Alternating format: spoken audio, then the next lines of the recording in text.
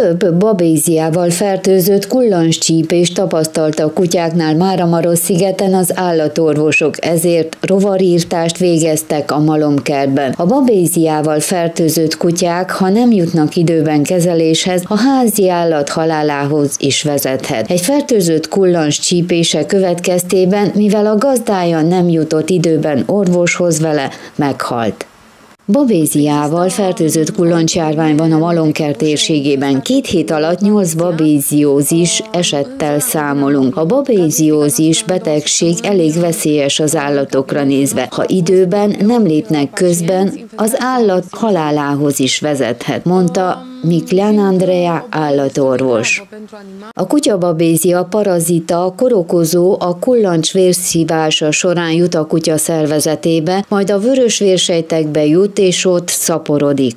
A kutyababézia parazita a kulancsok nyálmirigyeiben él. Amikor megcsip egy kutyát, a nyálmirigyen keresztül bejut a kutya szervezetébe, majd a vörös vérsejtekbe, és ott szaporodni kezd. A megtámadott vörös vértestek széteshetnek. A vörös vérsejtekből kijutó festékanyag a vesén át a vizeletbe jut, és annak vörösbarna színét adja, magyarázta Miklian Andrea állatorvos. Az állatorvosok szerint megmenthetik a házi állat életét, ha a tünetek első megjelenésekor orvoshoz fordulnak. Nagyon figyelmesek kell legyenek az első tünetekre az állatok házigazdái, mint az állat fásult állapotára, vagyis hogy nincs kedve játszani, sötét és hideg helyre bújnak a magas láz miatt. Nem egyformák a tünetek minden állatnál. 40,5 fokon feletti lázról beszélünk. A szem alatti nyálkahártyák halványá vagy majdnem fehérré válhatnak. A betegség előre haladott szakaszában megjelenik az ikter, vagyis a besárgulnak magyarázta tovább Miklán Andrea állatorvos.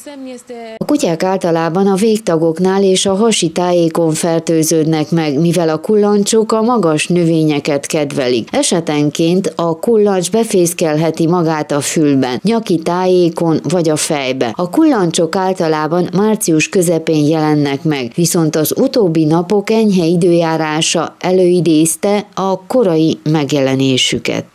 Amint az orvosi rendelőbe érnek, klinikai vizsgálat során meg kell állapítani a betegséget. A vérkenet alapján mikroszkóp alatt ellenzik a vér színeződését, azonosítják a babéziózist és megkezdik a kezelést. Nem könnyű a kezelés és nem olcsó, de ez az egyetlen lehetőség a betegség kezelésére. Hosszú távon antibiotikumos kezelést is kapnak az állatok. Egy-két hónapig a betegség súlyosságának függvényében. A máj ellen ellenállásának és vitaminizálásának érdekében májvédő kezelést is adnak, magyarázta Miklán Andrea állatorvos. Máramaroszigetieknek a házi állatok fertőtlenítését ajánlják az állatorvosok, viszont ez kizárólag állatorvos végezzel kullancsírtó szerekkel. A Máramaroszigeti hatóságok már elvégezték a parkok rovarírtását. A helyi urbánák közszolgáltatási vállalat képviselői szerint a rovarírtó kábítószerek nem veszélyesek sem az állatokra, sem az emberre.